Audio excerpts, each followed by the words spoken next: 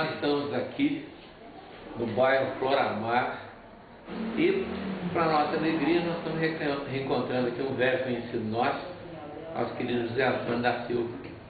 Né? José Antônio, você sabe que nós tivemos, só aqui, ó, nós estamos aqui mostrando a, a figura do José Antônio, até uma foto muito retocada, né? que foi feita e preto, né? Depois pintada a mão. Né? É. Existe uma fotografia dessa colorida, mas agora a gente não pode. Esses são os trajes que o José Antônio, é. que o José Antônio estava quando ele foi sequestrado. Né? E uma coisa que eu não sabia, Zé Antônio, é que o tal rosário que você estava usando era muito grande, né? É, a, a irmã lá onde nós estávamos me deu, então você fazia uso, até sumiu. Já sumiu, você sumiu, mas eu, toda a vida eu recortei rezar um texto, dois, toda a casa, toda a vida. Rezava dois textos? Dois, três, toda a vida eu rezei, reza até hoje. Você, você, você é um católico? Graças a Deus. Né? E eu acredito muito em Deus, sem Deus já não é nada, né? E eu penso assim, agora cada um tem direito de pensar, pra, eu para mim, primeiro Deus, depois. E pelo jeito lá na tua aventura, se não fosse Deus, né? Não tinha, eu não acredito que voltaria, né? Não, né? Não, eu não acredito. Você, Antônio, uma coisa que ficou muito.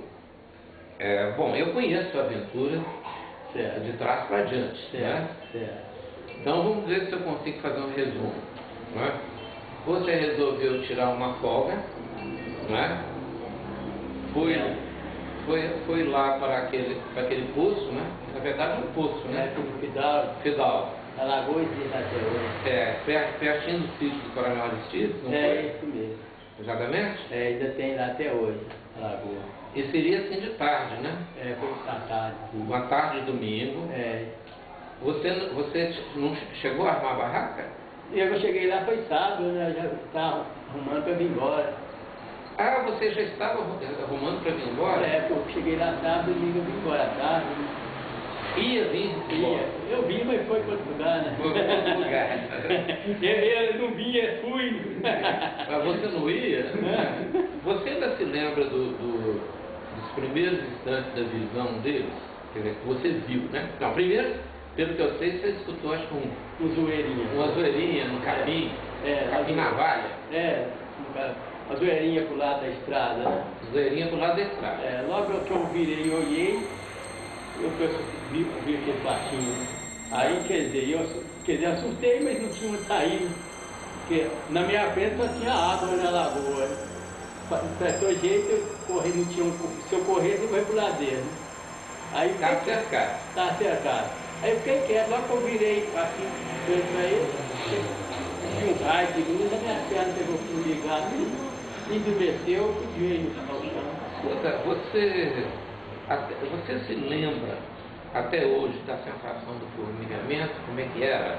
Era parecido com alguma coisa que você um dia viesse a Quando eu com uma dormência assim, né?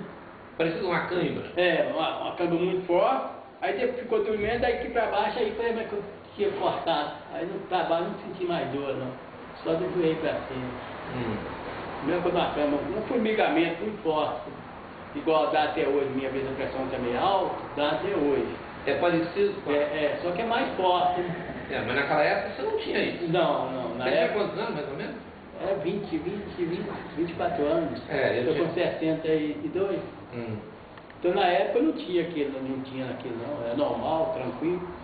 Inclusive a tapera ficou mais curta, não sei se é através disso, 4 centímetros. Ficou mais curta, 4 centímetros? A tapera é mais curta, 4 centímetros, e não era antes. Eu não sei através, se é através disso, o que, é, mas não era mais curta, inclusive eu, eu fiz ano, ela era normal, de, 6 pra, de 3 para 9, eu fiz era normal, de 9 para 12 para me regajar, o médico constatou que ela estava mais curta, 4 centímetros, e ela não era mais curta. Agora, através de que eu não sei que ela ficou mais curta. Ela é mais curta 4 centímetros.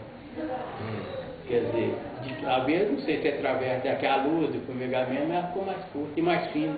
Quando eu fico em pé, fica assim, até mais quando, quer dizer que quando você vai ficar de pé, você não, não, não, não, não pode firmar nos dois pés sem ficar torto. Não, não tem, não consigo, não. Inclusive, se eu andar, eu posso andar o dia inteiro, mas parado, ou deitado ou sentado. Eu prefiro ficar deitado ou andando. Eu não aguento ficar em pé parado. Hum. Que é eu sinto mais cansado. Agora andar, eu posso andar o dia inteiro, não atrapalha nada não. Eu gosto ou deitado ou sentado. Deu deitado ou andando. Sentado eu não gosto de ficar muito sentado, não. Qual que é a perna mais atingida? É a esquerda. A esquerda. É, então como eu ficar em pé, eu fico com as pernas mais abertas para equilibrar o peso. Eu quer dizer, se a minha vista aquilo, eu não sei, mas quer dizer, não era, mas prova que eu fiz. Guarizão, quando fui fazer de 9 para 12, como é que é de 9 para 12? Que quando a gente está na, na, polícia, você faz exame para entrar na polícia, quando faz três anos, você faz de novo todos os exames, para seis, e de seis você vai fazer para nove, de nove você vai fazer para doze anos. Quer dizer, com isso os caras estão normal. É. Depois fui fazer, já, ela, por causa era mais curta, disse ela ficar mais curta, ela foi eu aqui, que eu não tinha mais curta. Uhum. E ela não era mais curta mesmo. Quer dizer que você ficou com uma sequelazinha. Fiquei, sequela tem no cabelo. E até, e até hoje comigo. Este lado também que é a esquerda, eu sinto sempre uma dormência aqui. Tem dia que eu fico até assim. E foi depois do, do... Foi depois, antes eu não tinha também. Mas eu não ligo com isso, não. Porque tá bom demais. Mas constata que tem. Tem, e não tinha. E é só desse lado também. Outra coisa, Zé, naturalmente sua história, eu vou fazer uma espécie tipo do fim pro princípio, porque tem umas coisas que eu fiquei sabendo e uma das coisas foi que te aposentaram em razão disso? É, quer dizer, não, que as minhas pernas estavam mais curtas, eles iam me aposentar com 10 anos só. Eu não aceitei, que não podia aceitar, eu, quer dizer, eu era normal, por que eu ia assinar uma aposentadoria de 10, 10 dias no, no, no mês? Aí não quis assinar. Aí depois o coronel falou, mas não tem jeito de arrumar a aposentadoria e entregar para você, o Croy. Se tem ou não tem, eu continuo trabalhando, eu não estou pedindo para aposentar não está querendo me dizer, até eu sei. Aí, a moça tem opção de trabalhar, então eu falei, se eu não tenho, então você se vira. Eu, eu pelo menos, fico aqui trabalhando, agora se você dá que não tem ah, você não pode trabalhar, tal. Mas por que, por que eles você não podia trabalhar? Porque no quartel você embola muitas coisas, depois quando você fez você, todo mundo fica perguntando as coisas, eu falei, eu não sou culpado. Agora, quer dizer, eu não vou assinar, inclusive fizeram a aposentadoria com 10 dias, quando fui assinar, que eu olhei e não, eu vou assinar isso não. Como é eu vou assinar? Porque eu sou ganho 30 dias no mês, não está dando para minha despesa. Como é que eu vou ganhar 10 dias, vai dar? Ele, coronel Célio, era muito amigo meu, eu falei, não, vamos ver isso aí. Aí, você não vai, eu vou assinar não, para quê? Eu não vou assinar 10 dias, não, foi 30 dias, não dá. Eu falei, não, só tem jeito de, de entregar para você. Se aposentar você como doido, eu falei, que, que aposenta como doido? Se vocês acham que eu estou doido, então vocês fazem o melhor. Quer dizer que isso te acarretou um preconceito. Acarretou. Prova tanto que aqui fez a vendadoria de 10 dias, eu não quis assinar. Então me acarretou isso aí. Mas eu não me preocupo com isso, não. Quem foram as pessoas que, que te pressionaram, vamos dizer assim, claramente, te pressionaram para você ser aposentado? É lá na, na, na JMS, lá no Hospital Militar. O que, que é JMS? Lá no, onde a gente faz exame. Junta Militar de Saúde? É, é. Então eu falei, não, eu não vou assinar não, porque isso aí não resolve meu problema não. Aí o coronel falou, não, calma, Zé vamos arrumar um jeito. Eu falei, não, até o coronel César, é muito amigo meu, eu falei, não, eu não, eu, eu preciso trabalhar, mas não aposenta. Com 10 dias, o que eu vou fazer com 10, 10 dias no mês? Comparação, se eu ganhava lá, comparação aí, 600 real, eu ia ganhar 200, é, comparação. Então eu falei, isso não resolve meu problema, tem meus irmãos para cuidar, tem minha obrigação, então quer dizer, vai piorar mais meu problema. Você era casado? Eu era solteiro, mas eu, eu tinha meus irmãos que cuidavam para mim. Uhum. Era 11 irmãos. 11 irmãos? 11 irmãos. Então, como é que, se eu trabalhava dia e noite lá, nas horas de fora eu furava a cisterna aqui, ó. A prova tá até hoje, tem uma lata na minha boca, cisterna para gerar o dinheiro, dos 30 dias. Se eu aposentasse com 10 dias, o que, que eu ia fazer? Quer dizer que seu, seu ofício, o bico que você fazia, como todo militar que ganha pouco. Furar cisterna. Furar cisterna. Naquela época que não Era tinha, sua especialidade. É, hoje não tinha outro que ganhar bem na época, como serviço pesado, mas era um serviço ganhava bem, que a gente cobrava por metro, então eu era bom para furar buraco, banco, furar 3, 4 metros por dia. Então eu ganhava bem dinheiro, nem minha prova ali, ó, que é cunhado meu. Então quer dizer. Eu, eu, na hora de folga, eu fazia isso. Agora, eu ia aposentar com 10 dias, como é que eu ia fazer?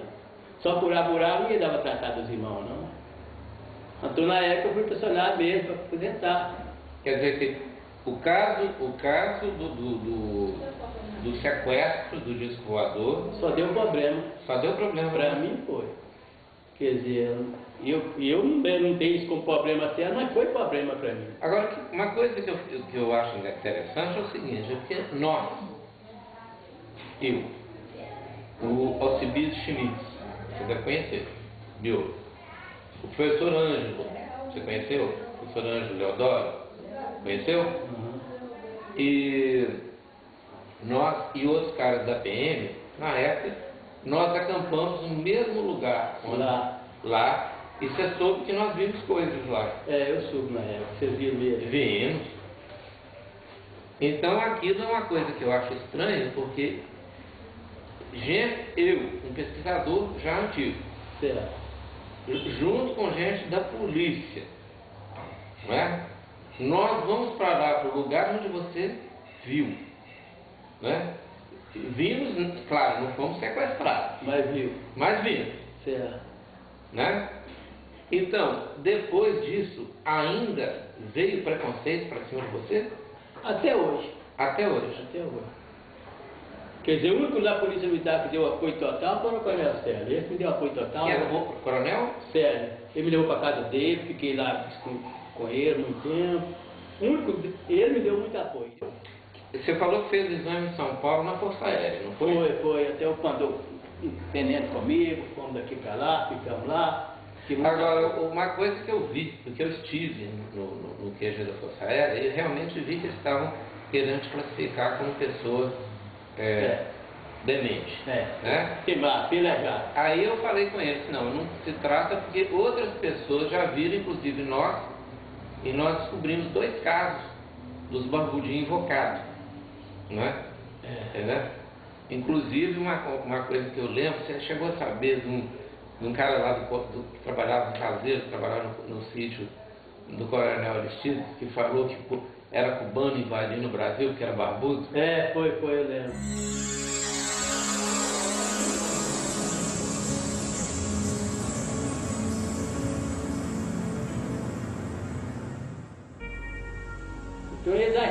Acham que eu sou um doido, mas eu, sei da minha vida. É. Se todo mundo for doido igual eu, o Brasil está bem melhor. Já valeu a entrevista essa, não valeu? Já valeu. Hã? Já valeu. a Quando, eu, por exemplo, sou um simples soldado, aposentado, ganho micharia, mas eu vivo bem com a minha micharia, não troco o cara, o coronel que ganha muito, que não tem a vida que eu tenho. Então você, você casou quando? Eu casei logo uns dois anos, 72, Quer dizer, a coisa aconteceu em 69, você casou em 72. 72. Quase uns três anos. é uns três Não, é anos. 71. Isso. Né? É. E aí foram quantos filhos? Seis filhos, cinco homens e uma moça. Todos normais. Graças a Deus. Deus. Eles- têm a vez igual esse papai da mãe, diz que tem um negócio no sangue dele que eu tenho. Isso não importa, não. Isso isso aí o sangue não importa. Não.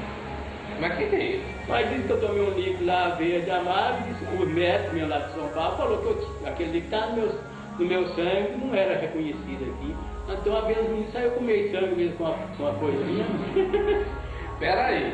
Essa eu não sabia desse detalhe não. Os médicos de São Paulo detectaram É, que, que eu tinha um, um- um produto no meu sangue que não era reconhecido. Às vezes é aquele líquido verde amargo que eu tomei lá.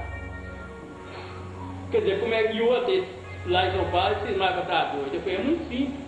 Vamos lá onde é que eu aparelho me largou. Quando eu voltei assim, tinha uma égua castanha da orelha quebrada com uma podinha. Na beirada do riacho. Uma? Uma égua castanha com uma podinha. O que que é pozinho? Filha da égua. Cotrinha? É, igual, vamos lá, a égua lá. E se fosse mentira e for doido, e doido ia saber daquilo lá Vitória? Claro que não.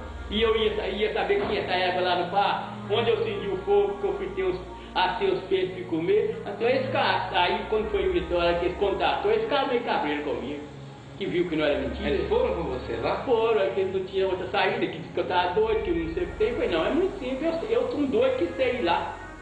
Aqui no quilômetro 32, 32. Foi eu, um doido. É doido, isso eu lembro. Foi um doido que sabe onde é que ficou, onde é que, que fez. O par tem uma égua da castanha da sua, orelha quebrada com uma cordinha. Vamos lá, ué.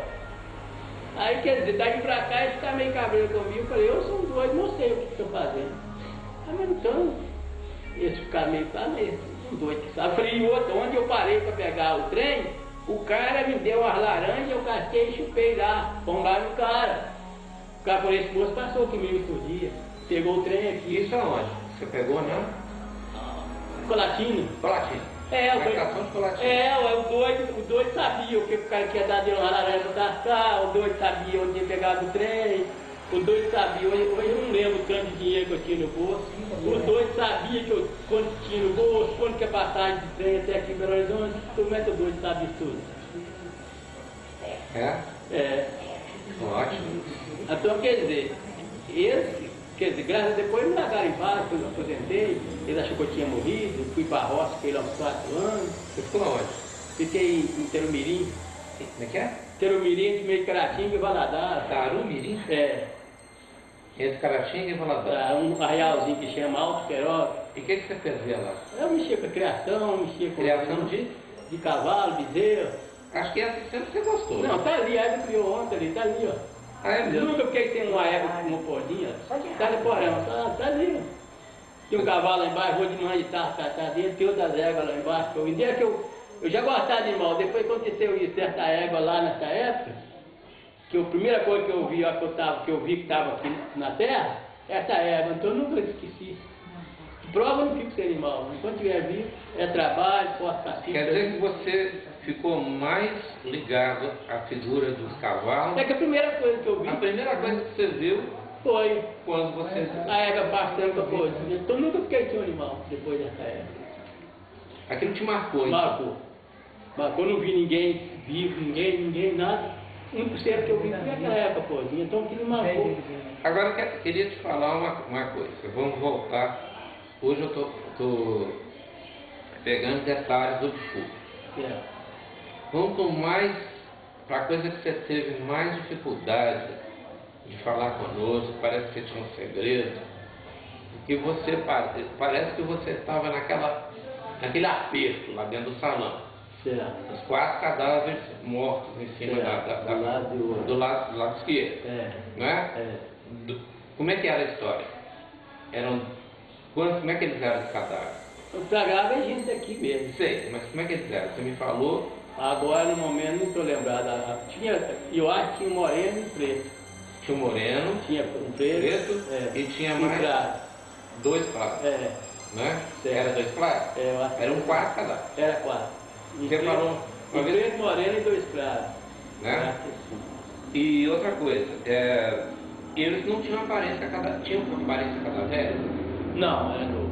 Era velho. Não, falando, você estava branquela, esse cadáver? Não, não, não parecia que se pare- Parecia gente normal, parecia até dormindo. Parecia que estava dormindo. É, mas se estava, né? Não, não posso falar estava ou não estava. Parecia que era. Não mexeu. Não, parecia que estava morto, não. Só pensei logo que eu também deve vir aquela fila de lá, né? Mas eu me lembro que você falou comigo, eu vou encarar o quinto. É, eu pensei, olha, que eu tenho quatro mais um, mas não vai alterar nada não, né não? É. Então, outra coisa que ficou bom naquela, naquela, na- interessante naquela entrevista é que na hora que você estava naquele aperto, você teve uma aparição Uhum.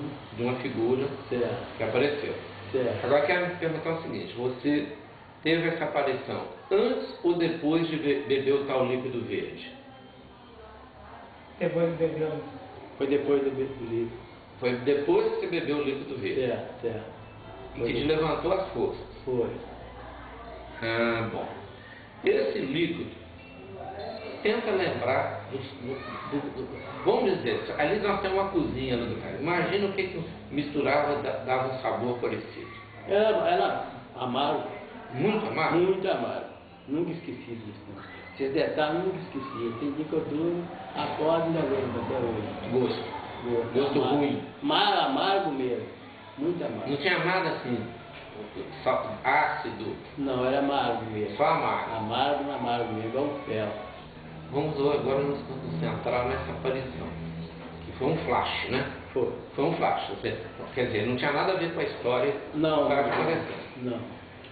Você sabe quem é que apareceu para você? Sei. Quem é? A figura do Cristo. Era a figura do Cristo? É. Então se eu rezava naquela época, eu rezo muito mais. De que, que ele te falou? Ficar tranquilo, que eu não vou ter nada de graça. Eu estou voltando, eu tranquilo. Quer dizer que hoje, que na época você não quis falar de jeito nenhum. Não, mas a verdade é essa. Então, na época eu já tinha acreditado em Deus, aí pra cá, retrobou. Entendeu? Devo, devia a vida a Deus uma vez, aí peguei para dever mais duas ou três. Pra, no meu, que eu penso até hoje é isso. Eu até comparo, eu sinto emoção.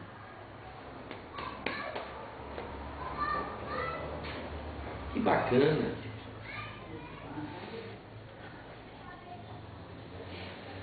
Quer dizer Cristo te visitou lá. E eu como é que ele te falou? O que mais? O que mais que ele te eu falou? ia ficar tranquilo, que eu não ia ficar lá não, que eu ia voltar. Daí pra cá, eles começaram a andar pra lá pra cá. Mas você, uma vez você me falou que ele tinha falado alguma coisa do seu casamento, que ele previu alguma coisa. Não, porque eu ia voltar, ia ter muitas filhas, eu, ia voltar, que tinha muita coisa para fazer aqui. Então, graças a Deus, voltei tranquilo. Então, o que, que eu dou valor à vida? Para mim eu nasci de novo. Que eu não pensaria que eu voltaria aqui mais não. E ele desapareceu? Quem é? O Cristo. Parece que sumiu, mesmo do jeito que apareceu assim, sabe? Sumiu. Que eu estava de pé, não podia virar. né? Então, do jeito que ele veio, ele saiu. Daí pra cá as coisas mudaram. Agora, quando a gente perguntar para você, inclusive são relatórios, foi o Cristo? Não foi. Você falou comigo, não, Não, mas foi. foi ele. Foi, graças a Deus. Hoje, tantos anos depois, você tem coragem para dizer. Tem que às vezes a gente fica na época, fica meio assim, mas não tinha outra pessoa sem ser o Cristo que me salvar daquela. não. Eu não acredito que tinha. E só podia ser o Cristo, que ele entrou normal, saiu normal, se fosse um homem igual a mim, é claro que ele não ia. Ele não tinha nada a ver com os Não, o baixinhos baixinho parece que nem viram ele, nem deu papo para ele, nem viram. Então, para mim, é o- a- a- aí o momento da vida foi muito importante, o que marcou muito foi isso na época. Então, por que que eu não importei de chegar aqui a me julgar como doido, que foi? Não importei, nunca importa. O importante é que eu voltei. E do que dizer, na hora de fazer a pressão, eles faziam assim de mim. Como é que na hora de lá não tinha ninguém para me socorrer?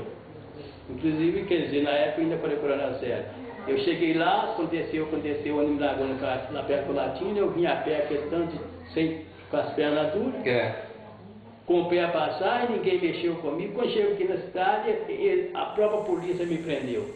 Quer dizer, rodei, rodei, eu cheguei em casa, eu achei que estava em casa, que, que aí começou o, mar- o sofrimento. É. Então, quer dizer, na hora que eu precisava da proteção, ninguém poderia. Na hora de me, me bater, todo mundo quer bater. Eu, na época, ele fica meio assim, revoltado. mas- Bater em você? Não, que pe- pegou assim, achou que era vagabundo, né, com aquela comerciante de pés. Ele achou que era filho roubado, né? Me tratava como se fosse um ladrão. Aí eu falei, não, não sou ladrão, não, tal. Eu comecei uns quatro comigo, e eu, aí eles me levou lá no que prendeu, eu falei, não, só, é, você sabe, quer saber quem eu sou? Liga pro Coronel Sérgio e pergunta quem é que é, que ele deve estar me procurando, que eu trabalho com ele. E qual a sensação que você teve quando soube que é- tinha passado mais de cinco, acho que é quatro ou cinco dias, né? É umas cento e poucas horas, é. Sendo invocatório. Você não a hora, a hora que eu botei a, que eu botei assim lá, eu não sabia nem dia, nem mês, nem hora, não. Depois, quando eu cheguei na estrada, que eu roupei uma tagal, que eu cheguei na estrada, que vi um moço com enxada na caputa, e eu perguntei que dia que é, que falou comigo que era sexta-feira, me pegava domingo. Aí que eu falei, uai, então o negócio, que aconteceu comigo tantos dias assim, eu não sabia nem dia, hora não, que depois me pegaram aqui, no, pra, na tarde, dentro do aparelho, lá na sala, só via, não vi noite, era só claro, né? Pra mim eu não sabia. A outra coisa que você falou comigo, uma coisa que eu queria deixar isso muito claro. O aparelho levantou o voo, sentiu Certo. levantar. Como é que sou no elevador? É. Depois parece que ele, ele inclinou Parece que inclinou um pouco. Né? Subiu, depois parece que inclinou. e aí disparou. Ah, não, aí subiu, e subiu um pouco, aí parou.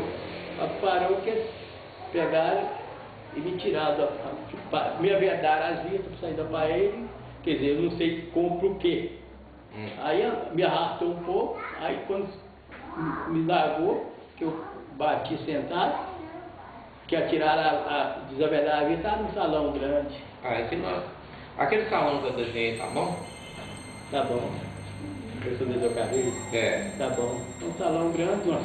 Não, era igual aqui, tá confortável, macio, era duro. Era duro. Era os banquinhos duros. Duro, banquinho. Uma coisa que, que chamou a atenção minha é aquela história de que eles ficaram favorados com a figura do Cristo. Né? Não, depois que saiu. Tem que eles foram mexendo no texto? É, é, foi olhar o texto, me arrebentou até o crucifixo, ficou com ele por lá. Você viu que aí, aí depois disso ficaram apavorados. Que coisa, e o, o texto que eu estou vendo era um texto grandão, né? Era um texto daquele de mancaridade que usava, a irmã que na nossa mitad, trabalhava lá e toda, toda tarde, seis horas, tinha havia rezar o texto da capela. E eu ia, todo dia eu ia também rezar, toda vida, toda tarde, seis horas, eu ia a frase. Ele me chamava, inclusive, no nosso mitad, até de Santinho, os outros colegas, a nossa Santinha vai rezar. Santinho das Irmãs, Santinho do Capelão.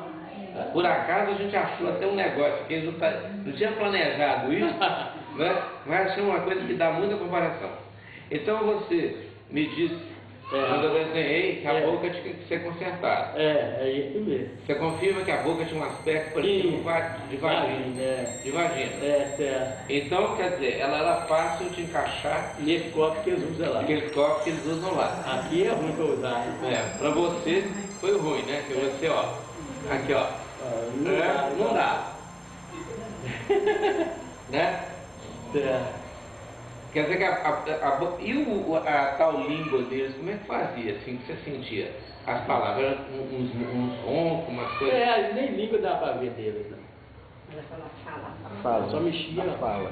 Bu, é, não dá pra ver. Se tinha língua, não dá para ver. Outra coisa também interessante é o seguinte, você não viu nenhum é, é, sinal de, de, de ser de dois sexos? Quer dizer, tem, um, tem os homens, tem mulher? Não, lá dentro não tinha, mas igual você chega aqui hoje, você vai num quartel de polícia, hoje já tem polícia feminina, que a época não tinha, né? É. Você chega no quartel, você não via figura feminina, hoje já tem, aquela época. Mas aquele mundo ali era um mundo de homem barbudo, só tinha, homem, só tinha homem barbudo. Barbudo, não tinha, só tinha uma mulher barbada.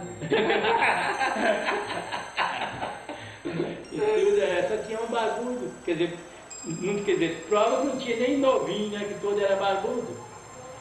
Não tinha nenhum também com aspecto de velho, mas... Não, velho, ah, tinha o preciso mais velho, mas velho, ah, eu não tinha nenhum, não.